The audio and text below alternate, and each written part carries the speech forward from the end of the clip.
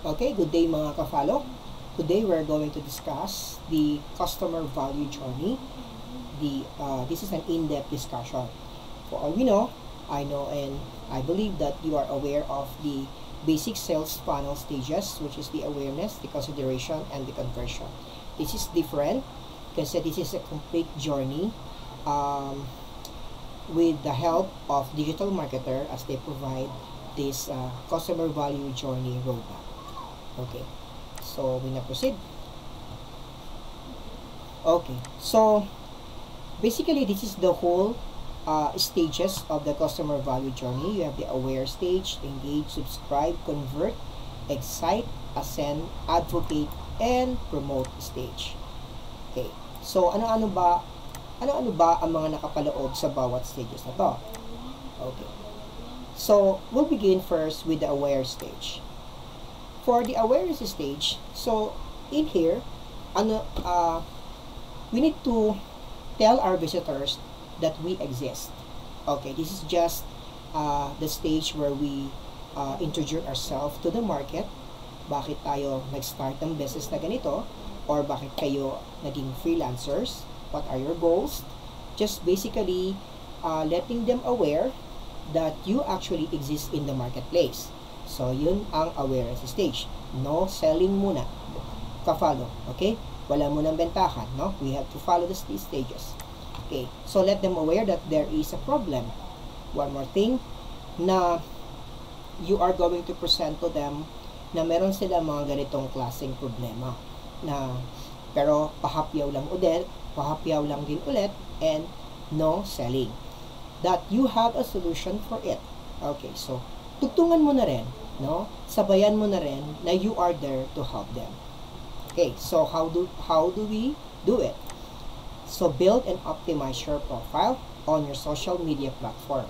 Okay, so we are not talking about Facebook business page only here, no? Ka-follow or other across uh, all other social media platform na sa tingin ninyong marami kayong pwedeng maging audience or visitors, doon kayo mag-establish okay, or magbe-build, and as well as optimize. So, ano ba itong optimize? So, when we say optimi optimize or optimization, aayusin nyo lang naman ka-follow yung inyong social media platform wherein i-complete nyo lang yung mga profile uh, requirements ninyo. Like yung cover photo, like yung uh, contact details, etc. So, kailangan kumpleto yon Hindi dapat siya kulang-kulang. okay. So, in this stage, you can also do referrals para mas makilala kayo. Like, you have, uh, uh, tell your friends, your acquaintances na you have this kind of business. Okay? You, you need to uh, have an organic o kumbaga tipong pag mag-search sila sa Google, you can be finder. Uh, you can do that by optimizing your profile. Okay? So, buying traffic and running an ads. Etong mga running an ads ito, like ito yung mga sponsored pages. So, ito yung actually ginagawa ko. Ito yung expertise ko. Like yung FB ads na yung mga sponsored page, makikita nyo sa inyong mga Facebook page na, na mag-appear. That's an ads. Okay? So, so the awareness stage is where prospect or stranger sees an ad, sees you in an ad, finds you in search, hears about you via referral. So that's the awareness stage. At least aware na sila with this kind of problem, you can help them. Okay, now we go to the engage stage. So in the engage stage, creating relevant and valuable content. Okay, so that your customers or your visitors will engage. Okay, ibig sabihin, makikipag, uh, kumbaga makikiayon sila. No? They will interact with all your posts. So, optimizing your content for each channel is very, very important as well. Like yung branding ng mga images mo, okay, yung, yung the way you post, okay, yung may mga siguro, meron ka ng mga contact details doon at the same time. So, how do we do it? Encourage engagement, like comments, share, and clicks. So, please also, uh, with your post, kung na rin, parang pakiusapan mo na rin sila or encourage them to comment. Okay? Or to give their comments. Okay? And also, i-share na rin nila kung they see it valuable to them. Okay? baka it will also be valuable to other people. Okay, so clicks at the same time. Okay, so do not forget to have your call to action in your engagement post or engagement stage. So ano nga ba tong CTA o tinatawag nating call to action? So eto lang naman yung mga tipong may message ka sa bandang last na you will push them to click on that link. Either pupunta siya sa isang website, magda-download siya ng copy, or anything that will uh, um, that will encourage them to take action.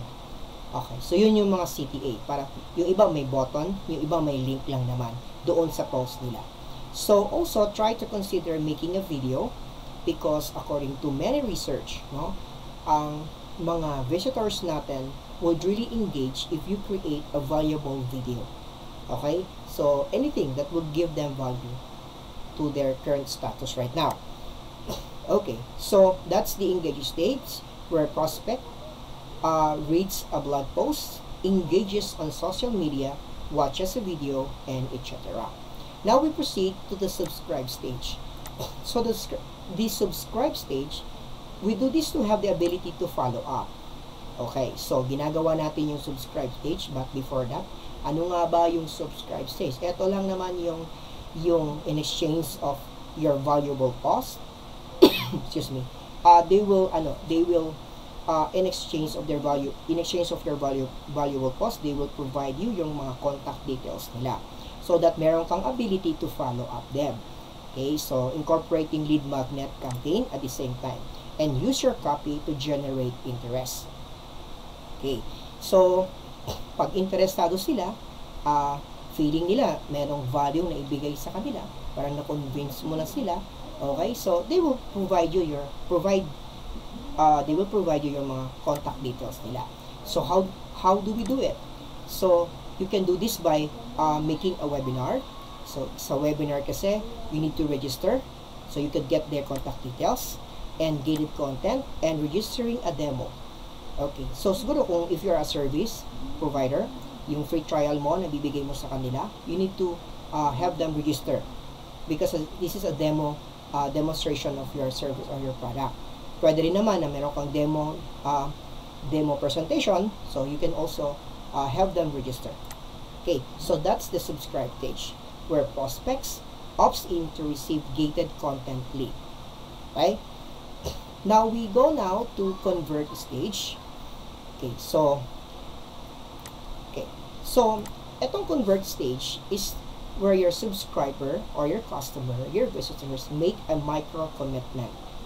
Ibig sabihin, hindi, hindi pa siya naka full blast na bumibili sa iyo. Parang trial lang muna. Subukan ko nga kung okay.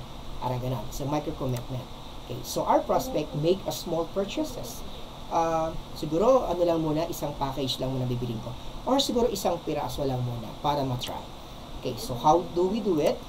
attending in a webinar. Uh, so, ka-follow, no?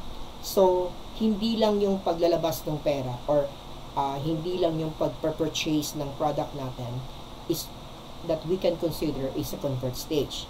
Actually, if they invest their time uh, in your webinar example, that's actually a micro commitment. That's actually a convert stage.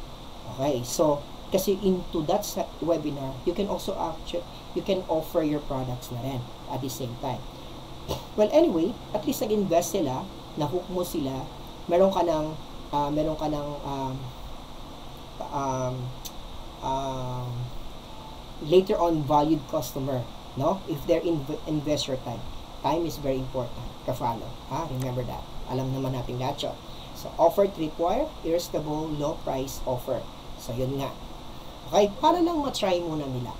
In offer them buy one, take one, etc. No? Depende sa in-offer niyo. okay. Sorry. So, the convert stage, make your prospect makes a small purchases, purchase schedules demo to your customer. Okay. Now we go to excite stage. Okay. So, masaya si ate, no? Ano kaya tong excite stage? So, excite, excite stage is where we build an excitement to our customers. So, pag ma-receive nila yung product, pag ma-receive nila yung product, they will become excited. Wow, ano kayo nakaloob sa box? Maganda ba? Matibay? Quality ba? Etc. So, with that, you can you can give your customer a memorable experience. Okay, so parang uh, yes, they would remember that throughout eternity na yung nabili nila is very valuable to them, ang ganda ng kulay, bagay sa kanila, and etc. So, how do we do it? bonus features that surprise and delight them. So, pwede rin, no? So, aside from uh, their orders na bag lang, no? Merong wallet sa loob na hindi mo naman talaga ina-expect na super ganda din. Okay. So, offering a quick start guide. This is for services o sa mga freelancers. Pwede rin to provide them a tips or a real product of your service no, na may sobrang ganda na, ng value and offer genuine and quality products. For me, this is number one. No? Kahit wala ka ng bonus, wala ka ng bonus features, pag ang product mo ay quality, tapos affordable lang siya, and that, that will create a memorable experience to them. And also, that will make them excited kasi bagay sa kanila. Okay? So, that's the excite stage. Uh, and yes, the excite stage is the aha moment. Where ah means wonder. Wow. Um, they are wondering, ah, ano ba kaya tong, ano, maganda kaya to, no? Uh, quality kaya to? Super, um, makakatulong kaya to sa business ko if you're offering a service, no? So, the aha moment will be the understanding. Ah, kaya pala. Okay, kaya pala ganito ang presyo. Matibay naman pala. Ah, kaya naman pala uh, ganito yung flow kasi talaga nga naman makakatulong sa aking business. Okay, so questions you're gonna ask yourself is what your customer need to believe it's true. Okay, what needs to happen to trigger this aha moment? Okay, so ka-follow, alam ko, you have different kinds of products and services. So, kayo ang mas makakano, you, you know better what is the what is the aha moment that you can give to your customers. Okay. So, we now proceed to the ascend stage. okay. So, in here, before we proceed to the ascend stage, the excite stage where um, your customer gets actual value from the initial transaction. Okay? So, kasi dito sa convert stage natin, your prospect or customers only make a small purchase and then uh, when they open the product or they experience the product, they get the value. Okay. So, when you know that they are excited and you really give value uh, to their product with this excite stage, you now proceed to the ascend stage where you offer an upsell or an upgrade. So, okay. So, ano ba itong ascend stage natin? No? First real purchase takes place daw. Okay. So, andito na yung core offer mo. Andito talaga yung pinaka-offer mo. No? Andito talaga yung uh, gusto mong um, i-push sa kanila. So, begin to upsell your offer. Okay upselling where people spend more uh, by buying an upgrade. Okay, so, ito yung core offer mo. Kapag gusto nila mag-upgrade, mas masarap, mas maganda, mas, mas uh, dagdag uh, customize ang color, ito yung upsell number one mo. Okay, of course, with an upgrade, mas uh, higher din yung price mo with the basic package. Okay, so make them a multi-buyer as well para bibili sila ng upsell 1 mo, bibili din sila ng upsell number 2 mo. So, how do we do it? So, generate repeat buys. Okay? Offering different products at the same time. Okay, so just in case na you are uh, uh, a bake shop, aside from a bake shop, meron ka ding milk tea. Okay. So, you can cross-sell kasi na-experience na nila yung yung yung cakes mo and pastries maybe yung milk tea din, yung milk tea mo masarap din. Okay? And all with your other products at the same time. Okay. So, like I've said a while ago, sa ascend stage will be your core offer, upsell 1, upsell 2, and your cross-selling or cross-sell. Now we proceed to the advocate stage. Okay. So, what, ano nga ba tong advocate stage natin? So, for your customers, please ask them to uh, write a testimonials on on your social media account platform. or, or social media accounts. Okay? So, this is a social proof or a customer story. Okay, magandang social proof ito ka-follow. Kasi when your customers make a positive and, and uh, build excitement in their testimonials na ang ganda at quality ang products mo, you build authority ka-follow. You build authority on the market and uh, nabibuild yung trust at namumultiply yung trust. Okay? So, you can also make social media contests at the same time, company profile and about the products. How do we do it? Okay. Bo uh, okay, bonus features and offering a quick start guide gaya din ng isang stage kanina. Okay?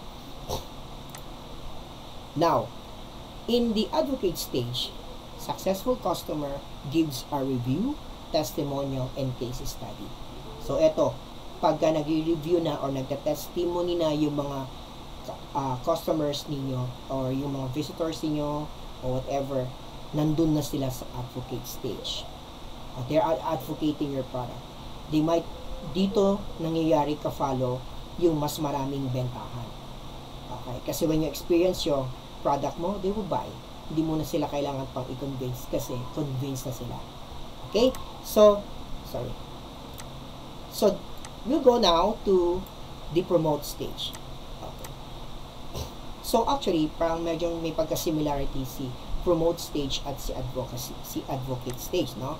But, um, for the promote stage, essentially, an advocate who are promoting your products. Okay? So, ito yung mga nasa promote stage.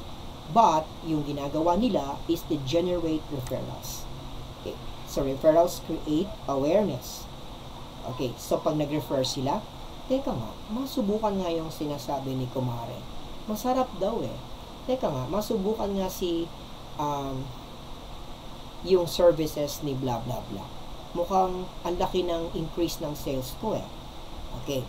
Now, they become aware. They will now go back to the, uh, no, they will now start from the, to the awareness stage. Mag-uumpi, mag-uumpi sila ulit sila doon ka-follow where they will become aware na you are there to help them. Okay, so how do we do it? Make your customers successful. So yun. Okay? yun ang number one ka-follow. Uh, i-guide mo sila ng mabuti at on every stage, dapat dapat satisfied sila on their customer value journey. So that at the end of the line or at the end of their roadmap, they will become a successful customers and then they will promote your products. Okay? Right. So this is the whole picture of your roadmap. Here, the customer value journey. Okay? So I believe some of you here nakadagdag sa kanilang pwedeng maging strategy, no? Na hindi lang tayo magpo-focus sa three stages of the sales funnel. Okay, so meron pa pala siyang iba pwede pang gawin para mas maging uh, maging successful ang inyong e-commerce business. Okay? Now, that's the end of my presentation. Thank you so much mga ka-follow. And yes, please tune in and watch for the other um, tutorials and lectures on social media, FB ads, and chatbot. Thank you.